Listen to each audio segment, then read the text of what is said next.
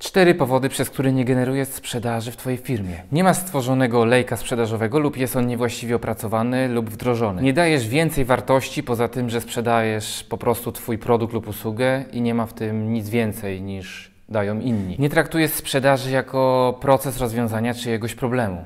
Uważasz, że sprzedaż to coś złego i nie ciśniesz sprzedaży tak jak należy, a przecież sprzedaż to nie jest nic złego. Jeżeli chcesz więcej oglądać wskazówek odnośnie biznesu lub założenia swojej marki odzieżowej, to zaobserwuj po więcej.